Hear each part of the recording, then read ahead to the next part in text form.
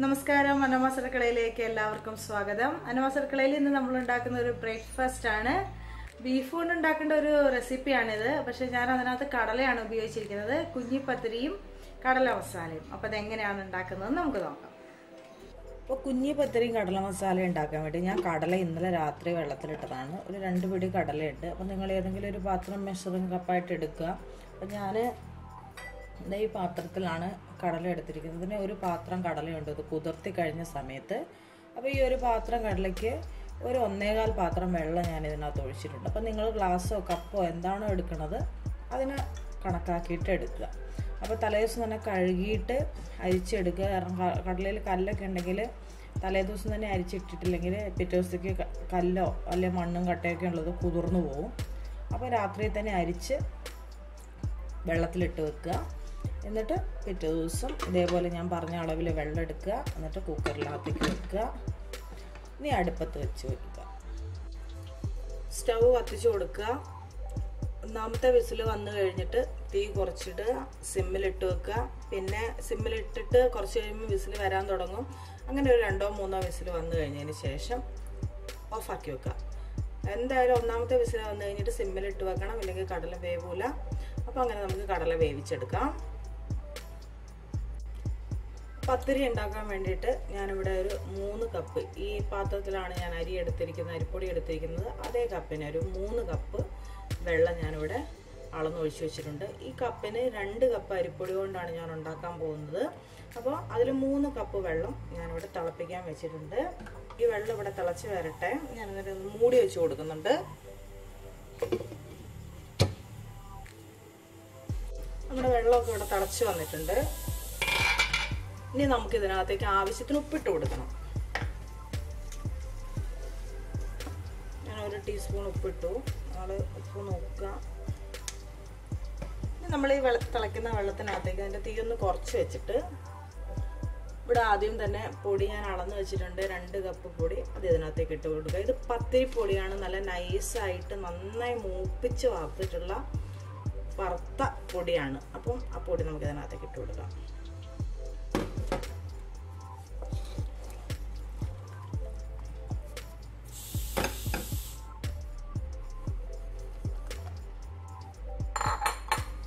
നന്നായിട്ട് ഇളക്കി മിക്സ് ചെയ്യാം.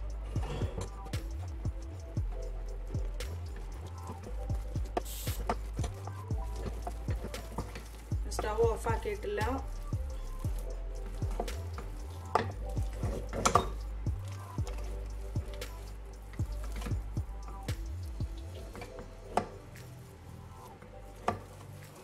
നന്നായി അടുപ്പത്ത് തന്നെ വെച്ചൊന്ന് ഇതിനെ ആ വെള്ളത്തിൽ ഒന്ന് വറ്റിച്ചെടുക്കുക പൊടി നന്നായിട്ട് വേവിച്ചെടുക്കുകയാണ് നമ്മൾ ഇതുപോലെ ചെയ്യുമ്പോൾ ചെയ്യുന്നത്. നല്ല സോഫ്റ്റ് ആയിരിക്കും നമ്മൾ എന്തുണ്ടാക്കിയാലും പത്തിരി ആയാലും കൊഴുക്കട്ട ആയാലും.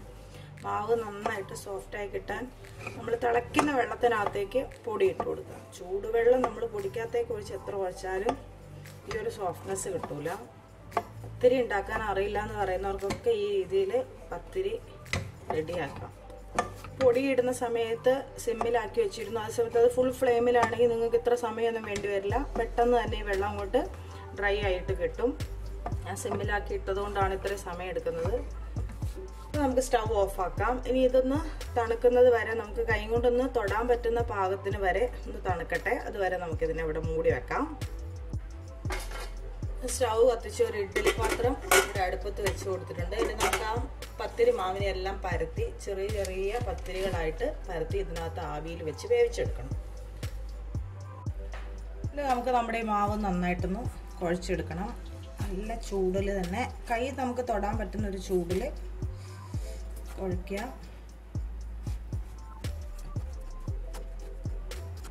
നമ്മൾ നന്നായിട്ട് വറുത്ത പൊടിയാണെങ്കിലാണ് നമ്മൾ ആ പറഞ്ഞ അളവിൽ വെള്ളം കറക്റ്റ് ആവുള്ളൂ.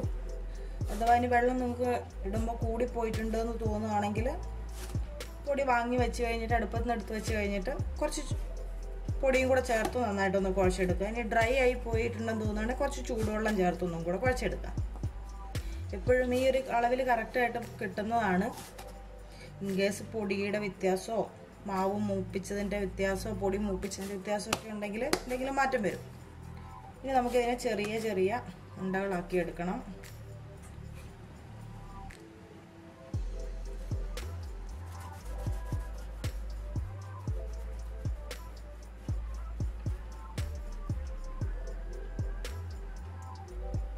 ഇങ്ങനെ ഉരുട്ടുക. ചെറിയ ചെറിയ ബോളാക്കിയിട്ട് ഒന്ന് പ്രസ് ചെയ്യാം എന്നിട്ട് അത് വെക്കുക.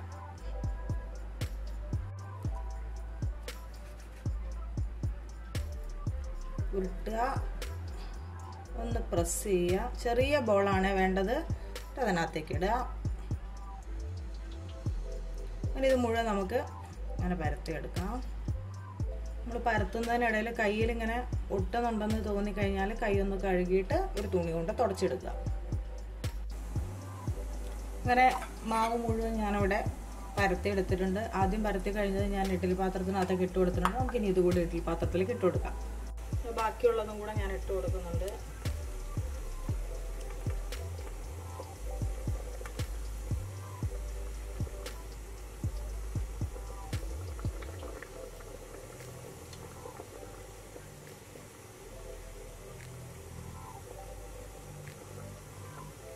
ഇനി ഇതൊന്ന് നന്നായിട്ട് മൂടി വെച്ച് ഒരു ഇരുപത് മിനിറ്റ് ആവി കയറ്റിയെടുക്കുക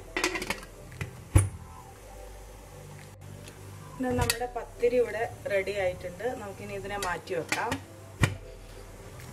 ഇനി നമുക്കത് അടുപ്പത്തേക്ക് ഒരു പാൻ വെച്ച് കൊടുക്കാം. കടല മസാലകളും മസാലയാണ് നമ്മൾ റെഡിയാക്കാൻ പോണത്. അപ്പോൾ ഞാൻ അതിലുള്ള ഉള്ളി ഇഞ്ചി വെളുത്തുള്ളി സാധനങ്ങളൊക്കെ ഇവിടെ അരിഞ്ഞ് റെഡിയാക്കി വെച്ചിട്ടുണ്ട്. ഇനി നമുക്കതെല്ലാം കൂടെ ഒന്ന് വാട്ടിയെടുക്കണം. അപ്പോൾ ചട്ടി ചൂടാവട്ടെ. നമുക്കിതിനകത്തേക്ക് കുറച്ച് വെളിച്ചെണ്ണ ഒഴിച്ചു കൊടുക്കാം. ഒരു മൂന്ന് നാല് ടേബിൾ സ്പൂൺ എണ്ണ. നല്ല ചൂടായിട്ടുണ്ട് എണ്ണ. അതിനകത്തേക്ക് നമ്മൾ കുറച്ച് ചെറിയ ജീരകം ഇട്ട് കൊടുത്തു. നന്നായിട്ടൊന്ന് പൊട്ടി വരുമ്പോഴേക്കും നമുക്ക് ഇഞ്ചി ഒരു വലിയ കഷ്ണം ഇഞ്ചി ചതച്ചത് ഒരു ഏഴെട്ട് വെളുത്തുള്ളി ചതച്ചത് ഒരു പച്ചമുളക് വരുന്നത് ഇത്രയും സാധനങ്ങൾ നമുക്ക് വാട്ടാം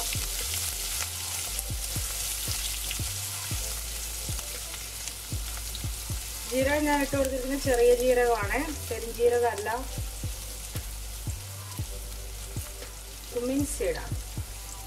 ഇനി ഇതിനകത്തേക്ക് നമ്മൾ ഇട്ട് കൊടുക്കാൻ പോകുന്നത് ഒരു വലിയ സവാള അരിഞ്ഞത്.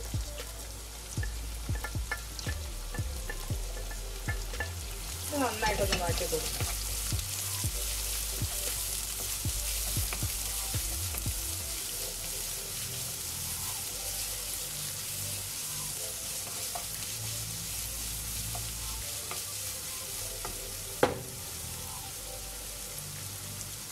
ഇനി ഇതിനകത്തേക്ക് നമുക്കൊരു കുറച്ചൊരു ഉപ്പും കൂടെ ഇട്ട് കൊടുക്കാം.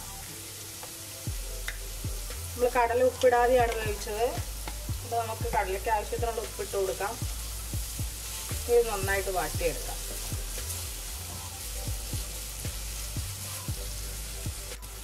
നമ്മുടെ സവോളയൊക്കെ നന്നായിട്ട് വാടി വന്നിട്ടുണ്ട്. ഇനി അതിനകത്തേക്ക് ഞാൻ ഇടാൻ പോണത് ഒരു മുക്കാൽ ടീസ്പൂൺ മഞ്ഞൾപ്പൊടി രണ്ട് ടീസ്പൂൺ മല്ലിപ്പൊടി ഒരു ടീസ്പൂൺ മുളക് പൊടി. ഇത്രയും സാധനങ്ങളാണ് ഇടുന്നത് ഇത് നന്നായിട്ട് വാട്ടി കൊടുക്കുക. മുളകിന്റെ പച്ചമുളകൊക്കെ മാറുന്നത് വരെ ഇളക്കി കൊടുക്കുക. നന്നായിട്ട് ഇളക്കി മൂപ്പിക്കുക. പച്ചമണം അങ്ങോട്ട് മാറുന്നത് വരെ ഇളക്കുക. ഇതിനകത്തേക്ക് നമുക്ക് കുറച്ച് കറിവേപ്പില കൂടെ ഇട്ട് കൊടുക്കാം. മുളകൊക്കെ നന്നായിട്ട് മൂത്തിട്ടുണ്ട് മസാലയൊക്കെ. നമ്മൾ നമ്മൾ നേരത്തെ വേവിച്ച് വെച്ച കടല ഇട്ട് കൊടുത്തു. കടലയിൽ കുറച്ച് വെള്ളമുണ്ട്. ഇനി നിങ്ങൾ ഈ സമയത്ത് ഉപ്പൊന്ന് നോക്കുക. കാരണം നമ്മൾ ഉള്ളി വാട്ടിയപ്പോൾ ഉപ്പ് ഇട്ടിട്ടുണ്ടായിരുന്നു. പാകത്തിന് ഉപ്പുണ്ടോ നോക്കുക. പോരെങ്കിൽ കുറച്ച് ഉപ്പും കൂടി ഇട്ട് കൊടുക്കുക. ഒന്ന് തിളച്ച് വരട്ടെ. ഇതിനകത്തേക്ക് നമുക്കൊരു മുക്കാൽ ടീസ്പൂൺ ഗരം മസാലപ്പൊടിയും കൂടി ഇട്ട് കൊടുക്കണം. ഇട്ട് കൊടുത്തു. നന്നായിട്ടൊന്ന് ഇളക്കി യോജിപ്പിക്കുക. അപ്പം ഞാൻ ഇതിനകത്തേക്ക് ഇട്ട് കൊടുക്കുന്നത് തേങ്ങയാണ്. അപ്പോൾ ഈ തേങ്ങ ഓപ്ഷണലാണ് തേങ്ങ ഉള്ളവർക്ക് ഇട്ട് കൊടുക്കാം. ഇല്ലാത്തവർക്ക് ഇത് സ്കിപ്പ് ചെയ്യാം. നന്നായിട്ടൊന്ന് ഇളക്കി കൊടുക്കുക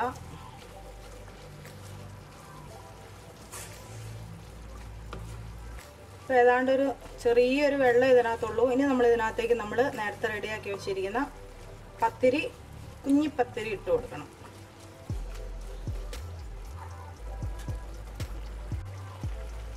ഇതിനെ നന്നായിട്ടൊന്ന് ഇളക്കി മിക്സ് ചെയ്യാം. തീ കുറച്ചിട്ടിട്ട് ചെയ്യാം. ഞാൻ പത്തിരി കടല മസാലയും കൂടെ നന്നായിട്ട് ഇളക്കി മിക്സ് ചെയ്തിട്ടുണ്ട്. നമുക്കിതൊന്ന് ആവി കയറുന്നിടം വരെ ഒന്ന് മൂടി വെക്കാം. ഒരു രണ്ട് മൂന്ന് മിനിറ്റ്. അങ്ങനെ നമ്മുടെ കുഞ്ഞിപ്പത്തിരി ഇവിടെ ആവി കയറി റെഡി ആയിട്ടുണ്ട്. നിങ്ങൾ നോക്കുക. വെള്ളം നന്നായി വറ്റണം. ഒട്ടും വെള്ളമില്ലാതെ സമയത്ത് വരെ നിങ്ങൾക്ക് വെള്ളം വറ്റുന്നത് വരെ അടുപ്പത്ത് വെക്കുക. എന്നിട്ട് ഓഫാക്കി വെക്കുക. അപ്പോൾ ഇവിടെ നമ്മുടെ കുഞ്ഞിപ്പത്തിരി റെഡി ആയിട്ടുണ്ട്. ഞാനതൊരു വിളമ്പത്തെ പാത്രത്തിലേക്ക് മാറ്റട്ടെ.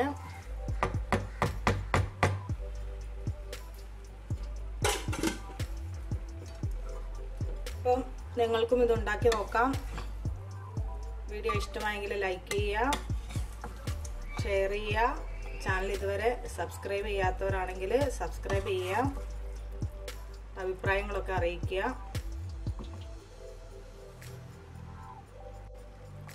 po. Thank you so much for watching.